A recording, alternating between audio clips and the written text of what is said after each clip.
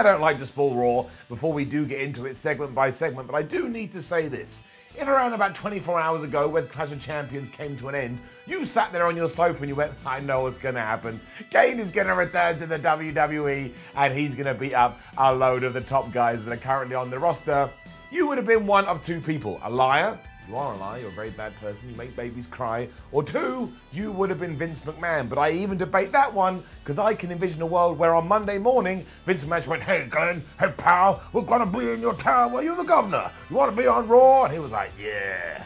Not how Kane talks. But anyway, look, this was one of the craziest episodes of Raw I think I've seen in 2019. So let's take the fop, the finger of power, give the good bits an up, give the bad bits a down, and see where we get at the end of it regret doing that. I'm a bit hyped up. I don't drink coffee. I had some this morning, just felt tired. Let's do it.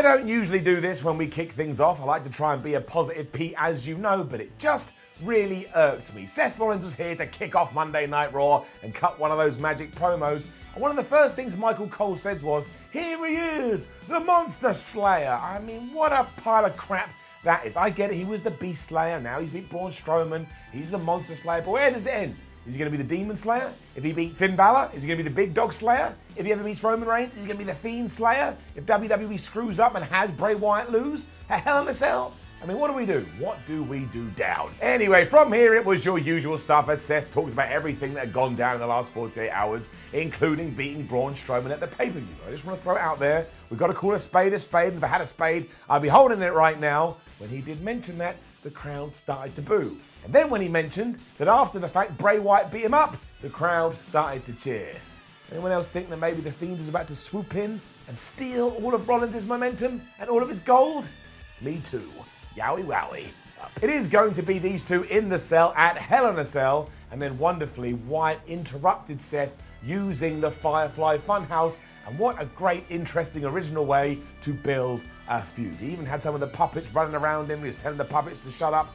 Seth just looked on like, what the hell is going on in my life? How did I get here? Wyatt then turned really creepy as he's wont to do and reminded Seth of all the mistakes that he's made and that the Fiend never ever forgets. He then laughed, stared at Rollins, and said he'd see him in hell. It was excellent and fair play to Seth, who did his best job to try and sell this like he was a bit freaked out. Going forward, if you are going to feud with The Fiend, please act scared. I don't want any of this, oh, I'm a big tough guy and I don't care about this. You gotta do it. Remember when Triple H acted like he'd seen a ghost when Mick Foley transformed into Cactus Jack? We need that every single day of the damn week. The best thing in the history of Raw then happened because as the Firefly Fun music played, we cut to all our match graphics that were going to tell us what was going down later on the show, and they're all upside down. Now, I would presume the WWE did this to make it out like Wyatt's got magic powers and he's screwing with the production truck, but it was just really funny. I don't know why it looked like this. It's just, it's a strange sight, right? You think something's gone wrong, and at no point did the commentators really let us know that it could be Bray. I mean, Renee Young did a little bit, but it wasn't enough, and I just sat there chuckling away. However, WWE then reminded us flub tag team wrestling. Who needs that ship? Give it a down. Braun Strowman had been seen running around backstage saying, Whoever goes to the ring next is gonna get these hands. And I presume one day he's gonna rip his hands off and give it to someone as a present. But unfortunately for both the Raw and SmackDown tag team champions, that being Bobby Roode, Dolph Ziggler, and The Revival, they were out for some kind of tag team summit. And I've no idea what that means, you've already figured out. Out came Braun. He beat all these four guys up to remind you never, ever, ever, ever, ever take tag team seriously. They're just pants. And honestly, too, this just makes me hate Braun. I mean, it's not his fault, but if WWE felt the need to beat him at Clash of Champions and then come up with an idea to make him all strong again, just don't beat him at Clash of Champions. You took four guys that actually had some pizzazz and yeah, threw it in the toilet. And I told you on Sunday, only one thing goes in the toilet. Crap. Alexa Bliss and Nikki Cross were then saying they are going to beat Sasha Banks and Bayley in a tag team match later because that is on the cards. They also referred to Sasha Banks as a smurf. That made me laugh, and much like I said seven days ago, never forget that your women's tag team champions are now faces for absolutely no reason. I am really confused and trying to keep up with what the deal is between the OC, the Viking Raiders, and Cedric Alexander, because they did indeed have a six man tag team match here, and rather than give Cedric Alexander anything, like even a little bit of a straw to have a little sip of some magic water, whatever that would be, nobody talks like that, we just went, eh, who cares about Cedric Alexander? Let's beat his ass one more time down. But yeah, once again, Gallows Anderson and AJ just beat the hoo-ha out of Cedric before he took another loss after the Phenomenal Forearm Now, we gave the Viking Raiders experience, whatever they're called something, afterwards, because Ivan or Eric or whatever the hell they call, did a big dive on the top rope and took everybody out. But then in the ring, Cedric was like, oh, I'm going to be inspired by this. I'm motivated. I'm going to get one on the United States champion.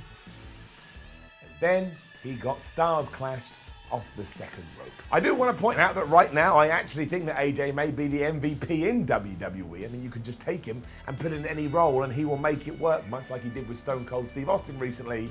But here, I am focusing on Cedric Alexander, a guy who had a pretty good King of the Ring, seemed like he was building up to something, and instead got taken out behind the back sheds and pff, got shot in the head. And I'm trying to figure out why. Moving on, I didn't even clock that we were in Knoxville, even though the commentators did tell me this, which is, of course, where Mayor Kane governs, and we managed to work him into proceedings. Boy, howdy did we. He was hanging out with R-Truth and Carmella and very nicely offered to show them around the town. But Carmella was very suspicious about this because obviously R-Truth is the 24-7 champion. Also, if I was going to be suspicious of anybody, it would be Kane because he is somebody that once electrocuted a dude's testicles. Also, if you haven't seen this skit, go and watch it. Kane sounded just like Tommy Lee Jones and it was really weird. It was then the King of the Ring tournament final, something that we'd all been looking forward to and something that we were all intrigued about. Could Chad Gable pull off a massive upset and beat Baron Corbin? And look, the answer is no, but I actually think a lot of good could come out of this. I'm keeping my fingers crossed and therefore get it up. I loved how split people were about this as well because I did a little poll on my Twitter. I wanted to get a gauge of what everybody was thinking and it literally after 6,000 votes ended 50% Chad Gable and 50% Baron Corbin. Just sum it up? As already mentioned, it was Baron that got the win after he reversed the Tornado DDT into the end of days. But look, here's what you need to take away from this. A heel winning the King of the Ring always adds a little bit of something extra to proceedings, and Baron Corbin is the type of guy that can wear the crown and the cape, and somehow he gets away with it. If we had done that with Chad Gable, it would absolutely plant him in the floor and there'd be no coming back from it. So the key about all of this is just making sure you use them in the right way after the fact. So play up to the whole Baron thing, make sure he comes across like an idiot in a good way, but don't just drop Chad Gable. That's the main thing. People were behind him, especially when the match was reaching its climax. as long as he keeps getting pushed, and as long as he keeps getting featured, and as long as he's able to keep showing people what he can do, then all of this would have been worthwhile. And I do understand your frustrations. I get you wanted somebody brand new to win and come out the other side smelling of roses. Let's give WWE the benefit of the doubt, even though I, that makes me an idiot. I get it. Also, I bet if Vince McMahon could, he would have sent Braun Strowman out there to beat up the King of the Ring because it's a tournament. Because as we've heard throughout the years, apparently Vinnie Mac don't like tag teams and he don't like tournaments. Unbelievable. And then, as had been revealed earlier in the day on social media, Maria Kanellis was magically back on Raw and she was going to reveal the gender of her baby. As soon as they confirmed this on my television set, I started looking around for Vince Russo.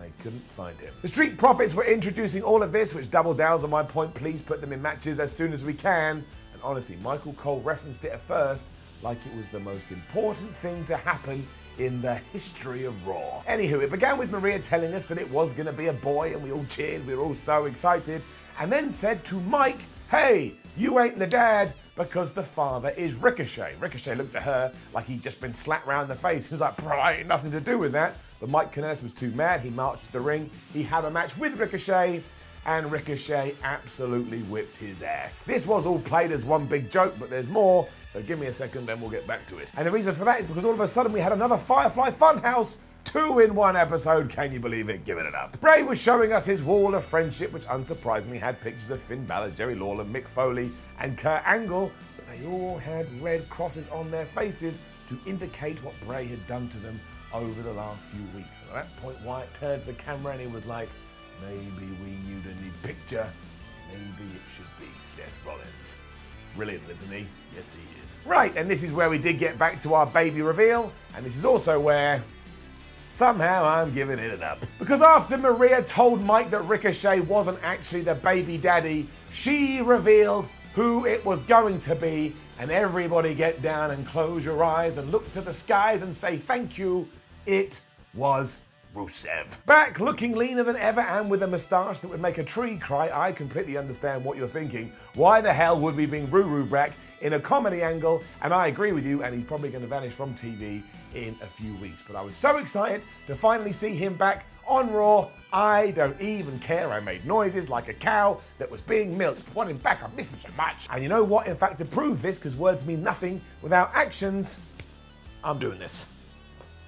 It's you and I, Rusev. It's you and I until the day that we die. You know what? No, this isn't. This ain't good enough. I'm going again. So my facial hair isn't as dark as I would appreciate, so you can't really see it. But Rusev, no, I have also fashioned this into a moustache, so we can now stand as one. Hashtag Rusev's moustache. Anyway, he then beat the absolute schnoz out of Mike Kanellis and made him tap out to the accolade, and that's exactly what I want to see on Rusev Day. Now, yes, I would prefer it if he was in the championship picture, but he's not. And again, I'm just so happy to see him back. I'm gonna take what I can get. We were then back to Truth Tour of Knoxville, and Carmella was right. You absolutely can't trust Kane. He had a secret referee up his sleeve, and after Truth had run into the football post, Kane pinned him one, two, three, and he is your new 24 7 champion. And think of that. Debuts at 1997 at Bad Blood rips the Hell in a Cell door off its hinges. 22 years later, he holds what many people believe to be a comedy belt. I love Glenn Jacobs. But we needed this kind of thing after the craziness we had just seen. Give it an up. And I would never give anything but an up to Rey Mysterio versus Cesaro. He's not that kind of a guy. It started great as Cesaro told Rey Mysterio the next time he sees his son, he's just gonna beat him up. And what a threat that is. Imagine you met anybody in your real world and you went, oh, hey friend, or hey partner, or hey work colleague, or hey stranger. And they went, next time I see your son, I'm going to beat them up. You would be pretty mad, as Rey Mysterio was here. He got all fired up, although Cesaro did basically take most of his match. But eventually he got 619 and he got kind of Canadian destroyed. It was like a modified version. Mysterio wins. He continues his way back to the top, where I'm sure Dominic will turn on him and absolutely kick him in the face. I do think it is time for some parity, though. We can't just focus on one person when the same thing is happening elsewhere. So bring it down. Let's debut something new here on Ups and Downs. That's right, it's the Swiss Superman stock meter. And what we're going to do here is we have Cesaro stock, because he loses all the time. And right now it's on zero, and we will track his progress as we go forward. But the reason I have introduced this is because I believe we'll be 12 months down the line, and it will still be on zero. Cesaro and Sami Zayn, two peas from the same pod. Don't get me wrong, I ain't happy about it. Just calling out. We also saw another little clip from the Firefly Funhouse as Bray Wyatt was putting a picture of Seth Rollins up on the wall. And this was the first time I thought to myself, you know what, less is more. We didn't need to do this. It was a bit like in a movie when the character explains the plot to you, even though you're already aware of the plot. Yes, I get it, Bray. I get it, WWE. The whole point of the Wall of Friendship is that when you beat somebody up, they'll go up there, and now you're feuding with Seth, he'll go up there too. Like, well, not super bad. And I love Bray Wyatt. We could have just cut out. However, we then got official confirmation that we will be getting the draft in October, and when that does happen, the wild card rule is dead, and we will have specific brands. I mean, they must have missed the fact I gave it a funeral a few months ago, but whatever. And then on top of that, we also got a return package for the authors of Pain the AOP, and it was like the realest, most cool, badass thing WWE has done in ages. They actually felt like a team that could come on Raw or SmackDown and just beat everybody up. It was good, so all of this gets it up. My word, did we then just go on some kind of roller coaster with the women? But hey, I guess it was never boring. Up. It started with Sasha Banks and Bayley taking on our WWE Women's Tag Team Champions.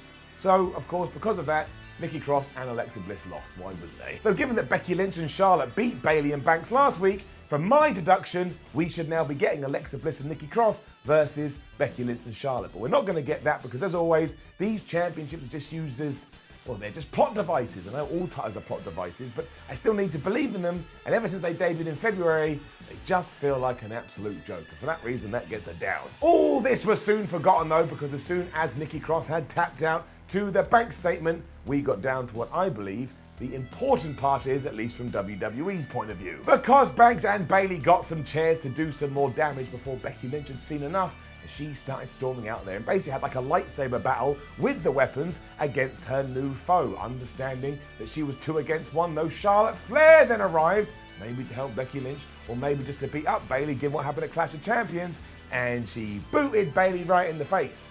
And given she had heels on that were bigger than me, that must have damn hurt. That opened the door for Lynch to send Sasha Banks packing, which she did, and afterwards I just had to lie down, especially because midway through the match, that happened now around about 76 years ago, we just got told on commentary that Alexa Bliss had to leave because she had a knee injury. I don't know if that's part of storyline or if it's real, and if it is real, all the best to Alexa Bliss. That would suck. And look, it is cool that all these storylines are overlapping, but again, it just feels like Nikki Cross and Alexa Bliss are becoming afterthoughts, and that's because, you know, they have these championships, and anybody who gets these titles, it's like having an albatross across your neck. You're doomed. Banks then cut a promo saying she wants Lynch at Hell in a Cell, to which Lynch then cut another promo responding, saying, that's fine, but I don't want you at Hell in a Cell, I want you in Hell in a Cell. So if you are keeping count, that is two cell matches we'll get in October. Bray versus Seth and Becky versus Sasha. Truth then won back the 24-7 title out of nowhere when he rolled up Kane, the most devastating surprise maneuver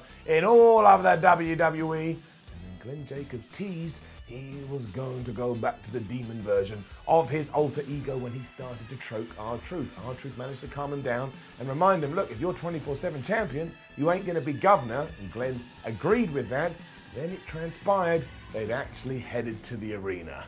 What could that mean? Lacey Evans then beat Dana Brooke. And I get it, I understand they were trying to put over the whole Lacey Evans versus Natalya feud because Lacey did win after the sharpshooter, but the crowd didn't care. And it was just so, like I say, out of nowhere, it kind of just passed me by like a tree in a pleasant breeze. Down. Talking of all this bizarreness, though, our main event for Raw was Bobby Roode versus Seth Rollins. And once again, who the hell thought that was ever be a thing? It must have been random match Monday, but it was, I think, the first chance that Roode has been given to show what he can do on the main roster, and he absolutely kept up with the Universal Champion. In fact, I think he looked quite good. Also, he didn't even technically lose, because after he had been curb stomped, Dolph Ziggler was in the ring, and he'd been interfering the whole time anyway, and he started smashing on Seth, which of course caused the DQ. So let me just catch you all up as well, and I'll catch myself up too. At the start of the show, we can beat up all the tag team division with Braun Strowman, but our Universal Champion isn't even allowed to beat one of them. Take that for what it's worth. And because of that, put another down on the counter. Down. However, given all the effort, and I like seeing guys like Roode in the main event, you it up. The whole thing then became even more unglued because the OC were out here and everybody was beating on Seth Rollins. And guess who made the save? That's right, Kane, who now had his mask back on. What is going on? And to make it even more perplexing, and it ties into my earlier point about who is allowed to beat people up and who is not, Kane then started to beat up all the tag team division and he started to beat up AJ Styles as well. I mean, this is Kane. Kane, the mayor of Knoxville. Thankfully, the whole thing was then saved because as Kane went to do his pyro, the lights went out, an air of creepiness ran through the arena, and the Fiend was behind him and he put Kane down the government official with the mandible claw, and then he stared at Seth Rollins like he was going to eat his face. Make this man your champion, WWE. Push him to the moon, literally. Put him on the damn moon, and don't take that belt off him till at least 2072. I mean, even the end of Raw was awesome because it was just the Firefly Funhouse logo with the music it was getting creepier and more scary as it went on because it was all disturbed and like, you know, getting in your ear like, oh, what the hell is going on? It was absolutely fantastic and of course, gets an up. And before you go, well, I didn't get a golden up. You gave a golden up yesterday on Clash of Champions. One golden up a week, that counts. We do unfortunately have to finish how we started though, because during all of this, Michael Cole over and over and over again, at least three times, kept saying, it's the Fiend, Bray Wyatt, it's the Fiend, Bray Wyatt, it's the Fiend, Bray Wyatt, just call him the Fiend. Call him the Fiend, you don't go, it's the Beast Brock Lesnar, or it's the Viper Randy Orton. Actually, you know what? You do sometimes, but you've got to stop doing it. It just takes away from everything. Sometimes as well, it's all right to be silent. If this had ended up in silence, that probably would have been better still. So again, not a big fan of this. We've got to do it.